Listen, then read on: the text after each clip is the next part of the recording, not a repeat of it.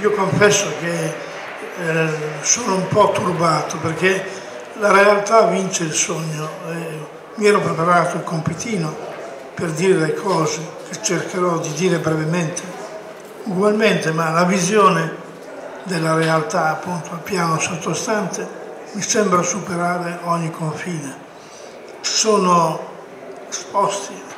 una serie di progetti che letteralmente non si capisce da quale senno possano nascere, come possono prendere forma, quale sia la cultura che li produce una volta si accusavano geometri, no? creatori di un'architettura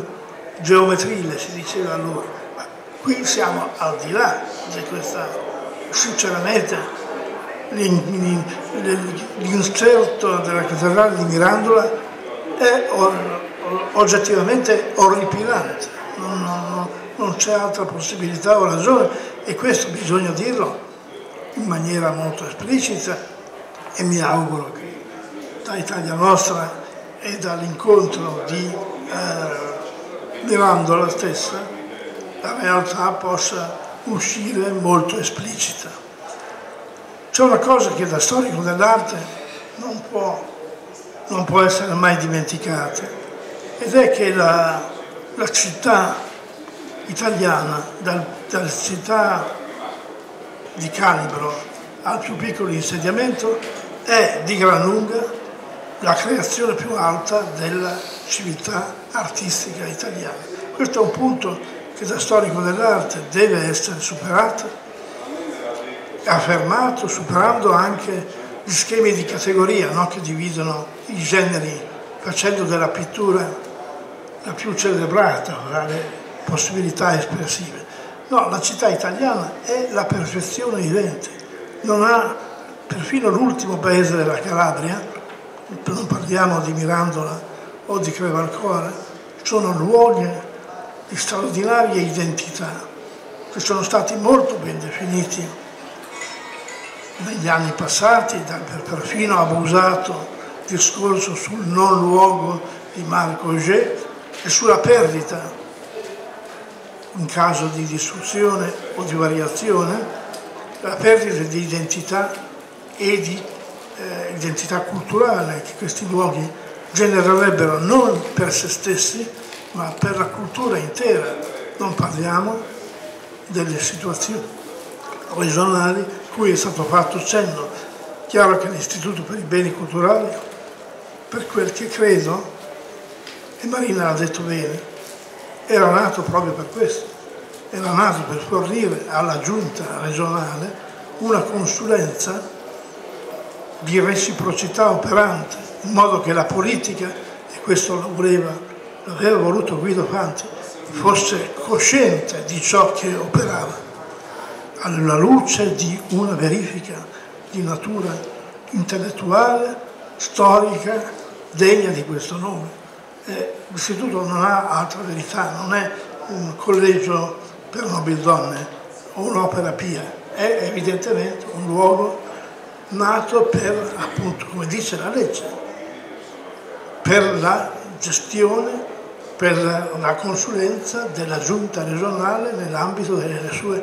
decisioni centrali. Eh, detto questo, davvero non si capisce eh, quale sia allora la formazione di questa mm, imponente agenzia cooperativa che unisce troppo chiaramente gli interessi non solo dei costruttori o dei progettisti, ma di un residuo cooperativismo rosso o bianco, non importa, che si è fatto carico e si fa carico degli affari futuri, degli interessi bancari che sono dominanti di un capitale erratico che della crisi non trova altra possibilità che la distruzione o la sovrapposizione. Qui non, non, ce n'è per tutti, non, non è possibile immaginare che il capitale che si muove possa essere così sbandato e incapace di decisioni, se non quelle della, qui poi il problema è peggio, io mi ero preparato a parlare di distruzioni, cioè di creazioni di tipo aquilano di un non luogo, che resta comunque un'ipotesi terrificante, ma qui si ritorna ancora più indietro, cioè all'inserimento negli edifici esistenti di altre formazioni e di altri edifici inseriti come so, come bubboni, come, come, come ma, cose male, malefiche, non c'è bisogno di dire troppo. E la situazione è peggio di quello che poteva essere immaginato. In questa situazione è chiaro che torna fuori dal passato, che proprio l'Istituto ha discusso a suo tempo, un concetto antico, che è quello della deviazione tra conservazione, cioè manutenzione, e sostituzione. Si sta lavorando ormai trionfalmente al concetto di sostituzione. I vecchi termini del restauro come manutenzione sono stati allontanati come inefficaci. Il dopoguerra in fondo aver tentato un'operazione di questo genere e a certe persone, come lo stesso Alfredo Balbacci per Bologna, bisogna riconoscere che una certa resistenza sulla conservazione, un po' non completamente riuscita, bisogna riconoscerla. Ma adesso la sostituzione ha vinto completamente. Il caso aquilano è là, vale per tutti, ma sembra che nessuno se ne renda conto. Anzi, ripeto, è meglio adulterare l'esistente sciupandolo completamente e poi, e poi il resto non lo conosciamo, il resto probabilmente è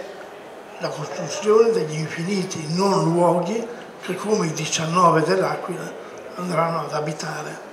le vicinanze rendendo impossibili le relazioni identitarie,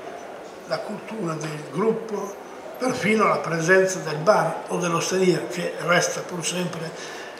dopo le dimissioni della parrocchia dalle sue capacità di riunione, perché tale mi sembra che credo sia fortemente orientato alla sostituzione rispetto alle vecchie chiese, restano i nuclei del vivere, i nuclei dell'essere in relazione, appunto quelli che danno luogo al non luogo. Si può continuare a lungo, ma vi chiedo scusa, credo che sia bene che lo salvio parli perché è più bravo di me.